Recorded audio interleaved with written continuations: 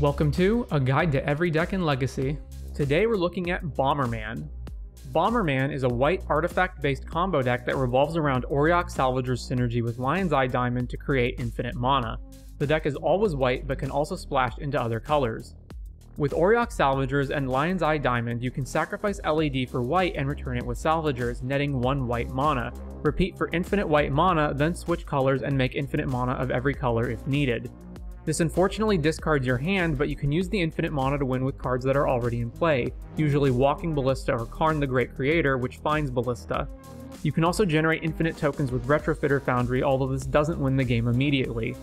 In red versions, you can activate Den of the Bugbear infinite times and attack, creating infinite attacking tokens.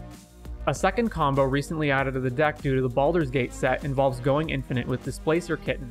If you have Kitten and Teferi Time Raveler, you can bounce any of various zero mana artifacts with Teferi, then replay it, triggering Kitten to blink Teferi and letting you bounce it again. This draws your entire deck and generates a huge amount of mana if the card you're replaying is Mox Opal since you can tap it before bouncing it. You can then win via Walking Ballista, Karn, or some other infinite mana outlet. The fact that Teferi is one of the combo pieces is particularly good since he also protects your combo and can bounce troublesome permanents like creature threats or hate pieces. Karn the Great Creator deserves a special mention since it functions as a combo piece for both aforementioned combos, tutors for various cards, shuts down enemy artifacts in the mirror or against 8 cast, and can serve as its own win condition. Cards you can find with it include the usual suspects like Tormod's Crypt, Grafdigger's Cage, Pithing Needle, etc., combo pieces LED and Ballista, and it can also win by itself with Mycosynth Lattice. The remainder of the deck is built on cheap enablers like Lotus Petal and Mox Opal, as well as Chalice of the Void since few cards in the deck cost 1 and those that do can be cheated through it by Urza's Saga. Speaking of, Saga provides the typical beatdown plan B with Karnstructs and itself fetches combo pieces LED and Opal. Because the deck is playing three different important combo pieces that all cost 4 mana, Ancient Tomb and City of Traders are used to power them out sooner. Other versions of the deck may sacrifice main board 1 mana artifacts and the Teferi Kitten combo to play Gyruda as a companion.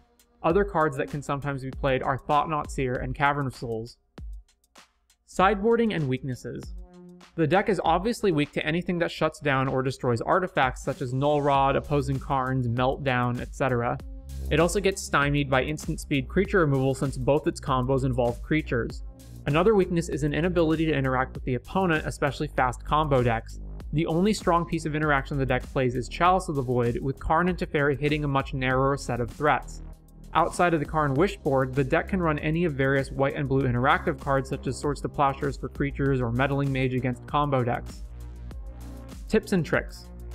Regarding Displacer Kitten, even if you don't have a zero mana artifact, you can still blink Teferi for value with other cards. Karn himself can fetch a zero mana artifact and be blinked immediately to fetch a second card.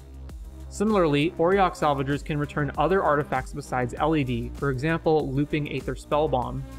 Otawara can bounce not just threats and hate pieces, but your own permanents as well to save them from removal. It's important to know what number to name with Chalice of the Void. It'll usually be 1, but there are cases where you'll want a different number.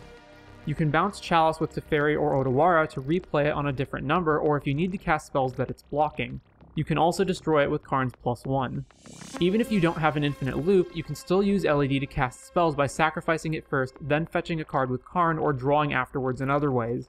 If you sideboard Pithing Needle, your opponent must activate anything they want to with an activated ability before you sacrifice Saga to tutor for it. They can't wait and see what you get since once Needle's in play, it's too late. I hope you've enjoyed this look at Bomberman. I want to thank my fellow players in the Magic community for whom sharing their experiences helps make these guides possible. You can find additional resources, such as an up-to-date deck list, in the description.